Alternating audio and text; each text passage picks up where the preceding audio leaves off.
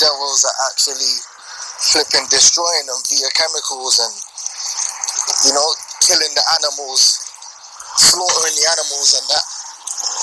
So they're exacerbating the famine that's coming, man. They're exacerbating the, the. Okay? Hey, what does the scripture say? See, this man knows that he ain't got long. So he gonna come down with hell.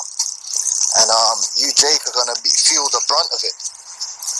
Okay? Because as food becomes more scarce and scarce, ultimately the ones that suffer the most and suffer first are the poor.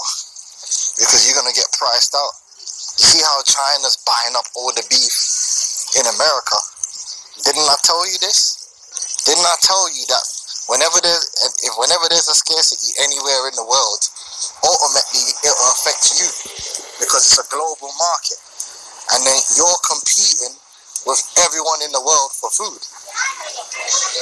So them U.S. exporters, if China's paying big money for the beef, they're gonna either put the price up for you or they're gonna sell it to China. Yeah, that's just how it is. Alright.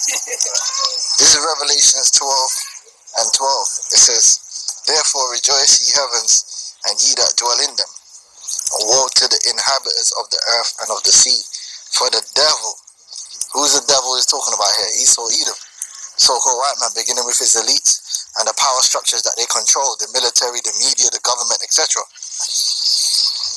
Woe to the inhabitants of the earth and of the sea, for the devil is come down unto you, having great wrath. This man's gonna move ruthless.